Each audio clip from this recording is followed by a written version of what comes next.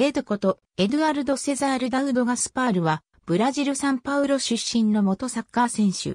現役時代のポジションはミッドフィールダー。現在は、プレミアリーグのアーセナルで、テクニカルディレクターを務める。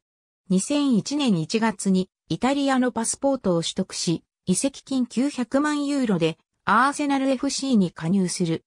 チームは、リーグ優勝2回、FA カップ優勝3回など輝かしい成績を残したが、エドがレギュラーとして活躍していたとは言い難い。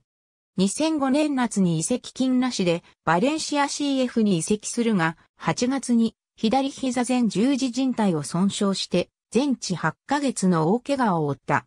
ようやく復帰した2006年11月には、右膝前靭帯損傷でまたもや8ヶ月の重傷を負う。治療がうまくいかず、2007年11月には再手術に踏み切った。2009年、古巣のコリンチャンスに復帰し、2010年シーズン途中に現役を引退した。2011年3月にコリンチャンスのディレクターオブフットボールに就任。